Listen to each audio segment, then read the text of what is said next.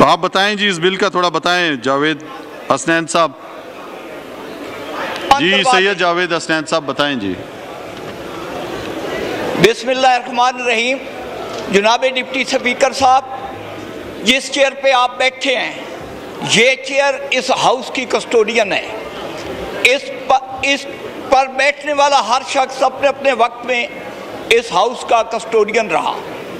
पहला शख्स जो इस पे बराजमान हुआ, वो कायद आज़म मोहम्मद अली जनाब थे। आज जो बराजमान है, नंबर गिने तो उनका अठारह अठारहवा नंबर बनता है। और शख्सियात में गिने तो असद कैसर साहब का सतारवा नंबर बनता है। इस पूरे दौरान में, सत्तर साल में, एक शख्सियत मरहूम मलक मिराज खालिद ऐसा गुजरा है जिसको इस हाउस की इस चेयर पे बैठने का दो मरतबा चांस मिला है। जनाब स्पीकर, अपनी फ्रंट रो में देखें, आपके सामने तीन सबका स्पीकर साहबान बैठे हैं। आपने, आप यहाँ भी जवाब दें और रोज़े आखरत भी आप लोगों ने इस पे जवाब दे होना है। जनाब डिप्टी स्पीकर साहब, यहाँ पे बहुत बड़ी बात हो रही है असलाहत के बारे में। इंतबी असलाहत की बात होती है। हमारी बदकिस्मती से जब से पाकिस्तान बना है, हमारा हर इलेक्शन किसी न किसी हवाले से मुतनाज़ हो जाता है। और हम ये कहते हैं कि अगले इलेक्शन के लिए हम कोई ऐसी रिफॉर्म्स ले आए,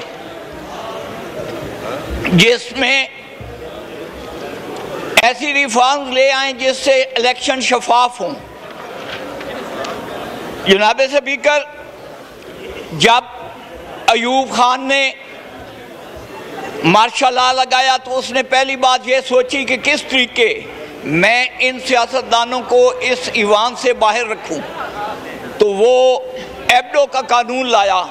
उसने कहा कि सात साल के लिए आप रिटायरमेंट ले लें या सात साल के लिए आपको नाअहल किया जा रहा है। जनरल ज़ियाउल हक ने इन सियासतदानों को बाहर रखने के लिए गैर जमाती इलेक्शन करवाए उसका मकसद सिर्फ़ पीपल पार्टी को ईवान से बाहर रखना था। मुशर्रफ ने जब मार्शा ला लगाया तो उसने नून लीग मुस्लिम लीग नून को बाहर रखने के लिए भी एक शर्त लगाई कि ताकि कई कद आवर सियासतदान इस हाउस में ना आ सकें। जुनाब स्पीकर हाँ आप बिल की तरफ़ आए ना बिल पूरा बताएँ जी तीन मिनट में सारी बात जनाब सबसे पहले रिपब्लिकन पार्टी रातों रात मार्ज वजूद में लाई गई जिसमें मुस्लिम लीग के लोगों को तोड़ के और छोटी छोटी जमातों के लोगों को तोड़ के उसमें शामिल किया आपकी आ गया जी बात समझ साल नहीं आई जनाब मेरी बात तो आप इतनी लंबी आप तो तारीख से लेकर आप बिल का बताएँ सर मैंने जो आपने बिल पेश किया उसकी आप चीज़ें बताएँ जी। दादा शुमार देने हैं आप क्यों? मैं तो बहुत लंबा एजेंडा है मेरा। कर रहा हूँ आपने तो पहला इलेक्शन लड़े। आप जब लोटा बनेंगे तो आपकी बात होगी ना। मैं तो इस हाउस में बैठे हुए उन लोगों की बात कर रहा हूँ, जो चार चार इंतबी निशानात पे इलेक्शन लड़ के आए हैं।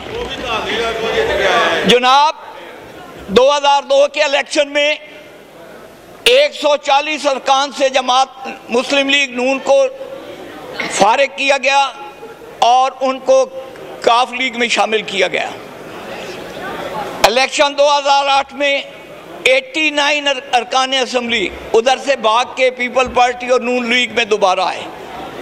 जनाब, ये जो अब तो बारी है पीटीआई की, जिस जिस परिंदे ने उड़ना है, पीटीआई की शाख से उड़ना है। मेरी रिक्वेस्ट ये है कि ये लोटागिरी की जो सनत हमने बना रखी है, लिल्ला उससे जान छुड़वा दें, उनको फारिग कर दें। और उन पर ये अपनी ज़ात पे आते हैं ना तो एक इलेक्शन इंडिपेंडेंट लड़ के आए जमातों को क्यों बदनाम करते हैं? वमाल है जी। अब मैं तहरीक ईमान के सामने रखता